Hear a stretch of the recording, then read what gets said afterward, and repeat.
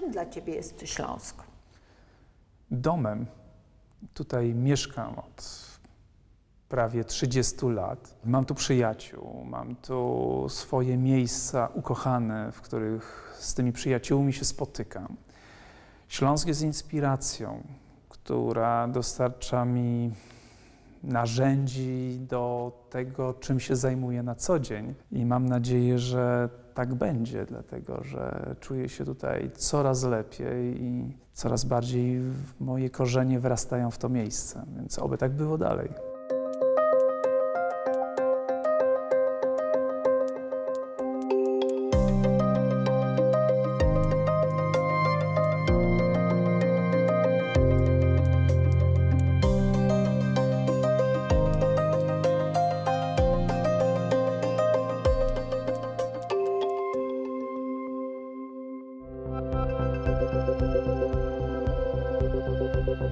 Tomasz Konior, architekt, urbanista, absolwent Wydziału Architektury Politechniki Krakowskiej. W 2019 roku obronił doktorat Ewolucja przestrzeni publicznej w budynkach dla muzyki.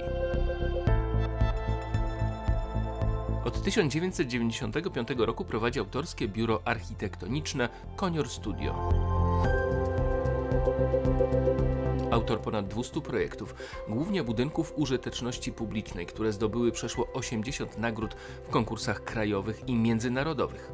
Współautor m.in. Centrum Nauki i Edukacji Muzycznej Symfonia w Katowicach, które otrzymało Nagrodę Roku SARP 2008 oraz Nagrodę Międzynarodowej Unii Architektów. Award for the Most Friendly and Accessible for All Public Project. W 2007 roku został pierwszym polskim laureatem Leonardo Award International Biennale of Young Architects w Mińsku, a w 2008 roku laureatem Europe 40 Under 40 Europe's Emerging Young Architects and Designers. W 2008 roku wraz z zespołem Konior Studio wygrał międzynarodowy konkurs architektoniczny na nową siedzibę Narodowej Orkiestry Symfonicznej Polskiego Radia w Katowicach, w której otwarcie odbyło się 1 października 2014 roku.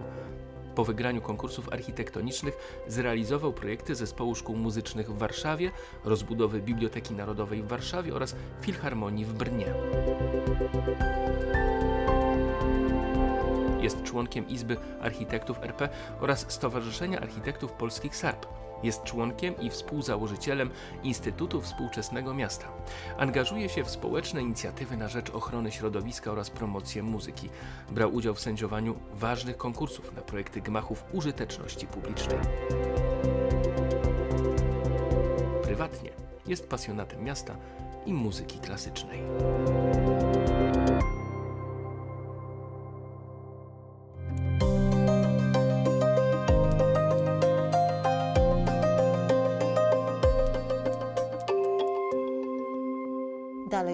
Się grać na pianinie? Ja zaczynam dopiero się uczyć grać na fortepianie. To jest jednak różnica zasadnicza, bo brzmienie fortepiano jest pełniejsze. No i powiem szczerze, że trochę sobie nie wyobrażam teraz świata bez fortepianu, bez nauki gry na fortepianie, bez tych emocji, które to we mnie wyzwala, bo jestem po prostu absolutnie e, rozentuzjazmowany tym, że ta przygoda się zaczęła. Szkoda, że tak późno, ale lepiej późno niż wcale. Bo zacząłeś swoją przygodę z muzyką od perkusji, grałeś w zespole rockowym, a potem spotkałeś Krystiana Zimmermana i to obserwując go, czy rozmawiając z nim, postanowiłeś, że będziesz grał na fortepianie? W zasadzie kolejność była jeszcze inna, dlatego że na samym początku, jak byłem jeszcze nas kilkuletnim e, dzieciakiem, miałem dwie pasje. To się wcześniej zaczęło. To była architektura i muzyka organowa dokładnie i miłość do Jana Sebastiana Bacha. Jeździłem na wszystkie festiwale muzyki organowej, jakie tylko byłem w stanie rozpoznać i to trwało do momentu, kiedy przyszł czas szkoły średniej i zacząłem grać właśnie na perkusji. Natomiast e, z chwilą poznania Krystiana Zimmermana rzeczywiście pojawiła się taka pierwsza myśl, a może jednak fortepian. I spróbuję, może kiedyś spełnię swoje marzenie. I minęło dużo czasu, zanim w zasadzie pandemia to był taki przełom, kiedy musiałem szukać jakiejś odskoczni od problemów i różnych sytuacji. Wtedy mój przyjaciel wpadł na pomysł, że może jednak kupię sobie na początek elektryczne pianino. No ale chwilę później pojawił się fortepian i teraz już jestem absolutnie w, pasji po same uszy. I teraz spełniłem swoje marzenie, mam własny fortepian. Nauka gry jest najlepszą formą relaksu. Staram się tak organizować czas, żeby codziennie pobyć sam na sam z instrumentem. Ile ci jeszcze brakuje, by wystąpić na scenie Nospru? E, zależy, jak do tego podejść, bo jeżeli potraktujemy to jako pewnego rodzaju żart, to mogę to zrobić od razu. A jeżeli chcemy to potraktować poważnie i że zagram to być może jeszcze z kimś, wespół, zespół, na cztery ręce albo dwa fortepiany, to jeszcze trochę czasu minie. Ale robię to dla moich przyjaciół i dręczę ich tym, czy chcesz może posłuchać Marianko następnym razem, bo chętnie, Bardzo proszę o wpisanie mnie na listę zaproszonych gości. Z przyjemnością.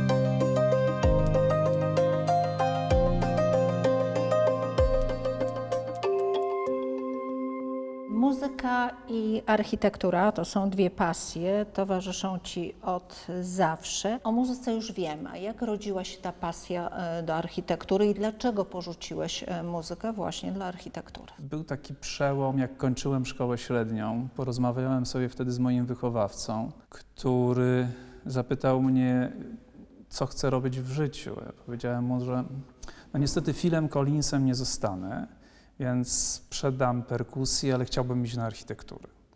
No i rzeczywiście ostre korepetycje we wszystkich przedmiotach, przede wszystkim w rysunku, ale też e, w pozostałych przedmiotach, które zdaje się startując na architekturę. No i udało się i wtedy rzeczywiście spełniłem tą jedną z pasji, e, która wydała się bardziej realna, żeby projektować domy i projektować miejsca dla ludzi.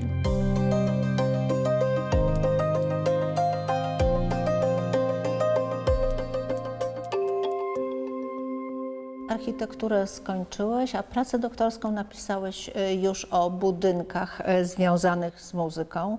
E, zaprojektowałeś Narodową Orkiestrę Symfoniczną Polskiego Radia w Katowicach, Filharmonię w Brnie. Korzystasz bardzo czynnie z tych przestrzeni przez siebie tworzonych, ale to jest tak, że trochę tworzysz przestrzeń dla siebie? W dużej mierze tworzę ją dla siebie, bo nie wyobrażam sobie sytuacji, że projektowane przeze mnie przestrzenie dla innych nie odpowiadałyby mnie i nie chciałbym z nich sam korzystać. I uważam, że ta codzienność życia budynków jest zdecydowanie najważniejsza. I ta odpowiedzialność za przestrzeń jest dla mnie dużo ważniejsza niż sam wątek kreacji czy wymyślania czegoś, czego nie było albo o czym chciałbym zadziwić świat.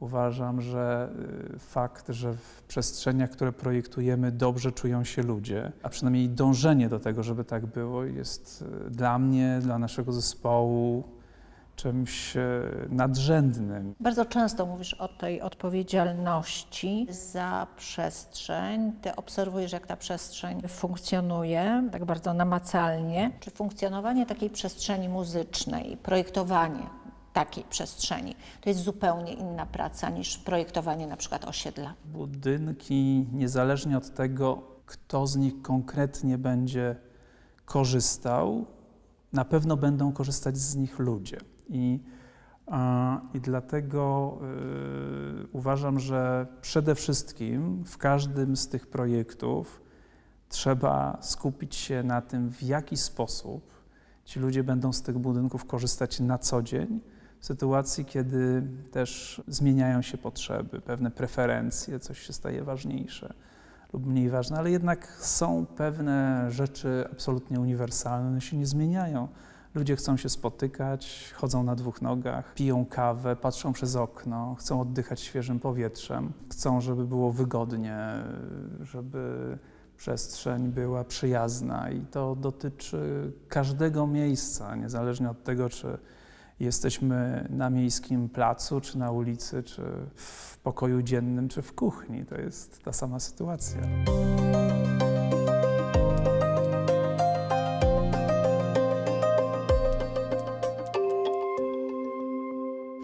mieście, e, bo wiem, że jesteś Świetny miastoholikiem, e, uwielbiasz miasto. E, Jaki jest przepis Tomasza Koniora na idealne miasto?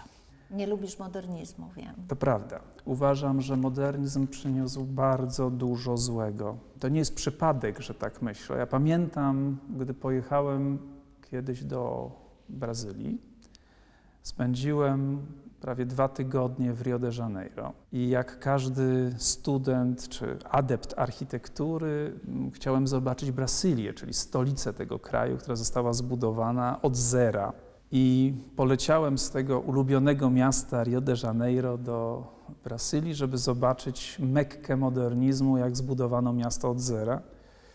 Miałem tam spędzić trzy dni. Spędziłem trzy godziny i szukałem y, linii lotniczych, żeby jak Uciekłeś. najszybciej stamtąd uciekać, ponieważ zauważyłem, że to, co wymyślili moderniści, mm, szczególnie jeśli chodzi o przestrzeń, to jest całkowita pomyłka, która nie rozumie tak naprawdę tego, czym jest miasto jako organizm do życia ludzi i wzajemne ich, ich relacji, które to Co miasto jest buduje. w tym mieście najważniejsze? Jak architekt powinien e, to miasto wymyśleć, żeby ludzie się czuli w nim szczęśliwi, bo o to chyba chodzi w mieście. Przez tak? setki lat miasta budowano na bazie y, siatki ulic, którą to siatkę ulic wypełniają kwartały zabudowy, czyli budynki, które tworzą tkankę miejską.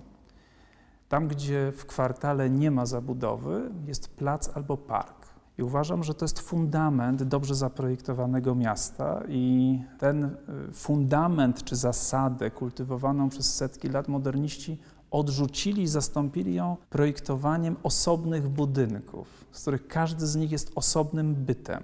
Miasto zaczęło się tak naprawdę wtedy rozpadać i ten proces takiej entropii trwa. Dlatego z takim utęsknieniem wracam do tego, co było wcześniej i staram się przynajmniej skłaniać do refleksji każdą wypowiedzią, czy aby na pewno idziemy dobrą drogą w kierunku dobrej przestrzeni, bo mam co do tego bardzo poważne wątpliwości. Dzisiaj skupiliśmy się głównie na formie budynku, nie Owszem. na tej przestrzeni. Ciebie forma nie interesuje? Na ile Jak cię forma Jak interesuje? najbardziej mnie interesuje, tylko musimy zachować hierarchię.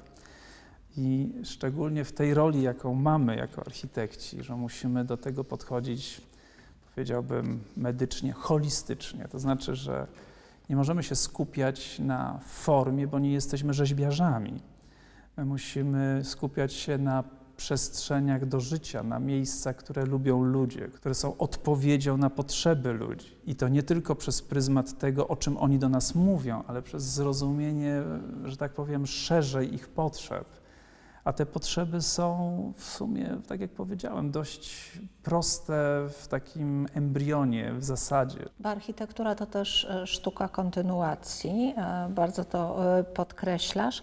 A powiedz, co przeszkadza Ci w Twoim mieście, w Katowicach, bo to jest Twoje miasto, Ty je wybrałeś, jesteś tu i nie wyprowadzasz się z tego miejsca. Mało tego, ja się w tym mieście coraz bardziej rozkochuję, dlatego że jestem tutaj już no, prawie 30 lat. Na początku myślałem, że jestem tutaj za karę i to był absolutny przypadek, że się tutaj znalazłem, a później doszedłem do wniosku, że to jest takie miejsce, gdzie w zasadzie wszystko jest do zaprojektowania. Katowice są miastem młodym.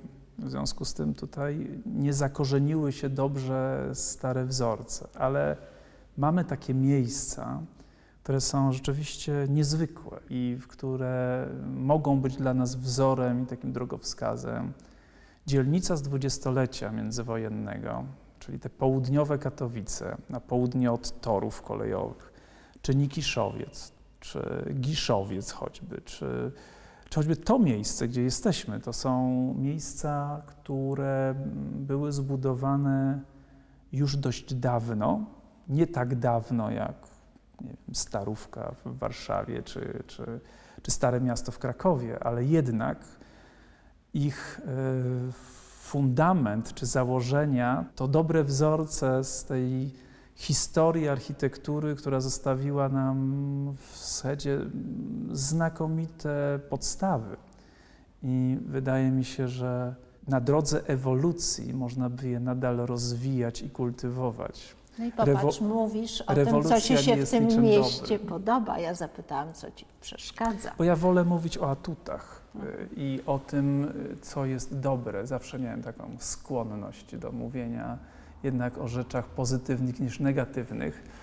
Natomiast y, myślę, że nie powiem niczego nowego. Myślę, że to, że miasto się rozpada w wielu miejscach, że jednak ciągle mm, budujemy osobne budynki, a nie y, struktury czy tkankę miejską, która jest podstawą dobrze funkcjonującego miasta i co ważniejsze, dobrego samopoczucia ludzi. Chciałbym, żeby to był lepszy transport publiczny, żebyśmy mogli zupełnie bez e, problemu rezygnować z własnych samochodów na rzecz właśnie jazdy wygodnym tramwajem czy autobusem, który nas zawiezie e, w wygodne miejsce.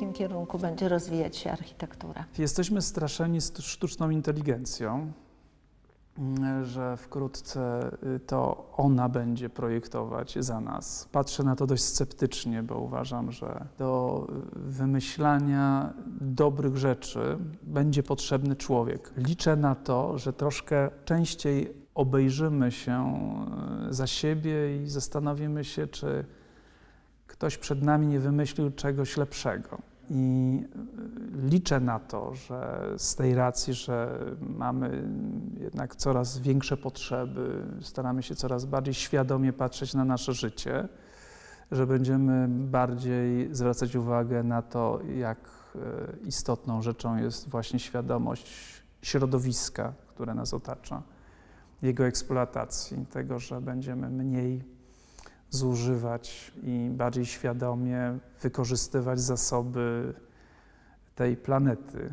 Chciałbym, żebyśmy w ogóle świadomie podchodzili do naszego otoczenia i do siebie nawzajem. Myślę, że to może przynieść dobre efekty.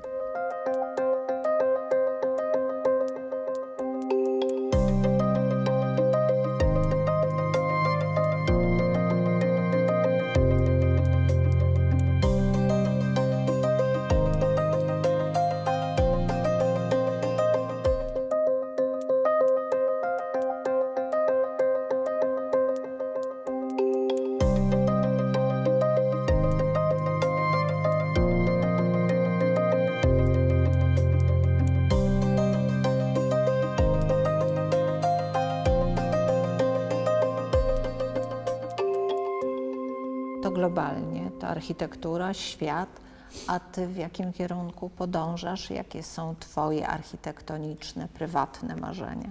Rzeczywiście jest ich sporo, bo ja jestem dość niespokojny w, i w, również w pewnych ambicjach i oczekiwaniach.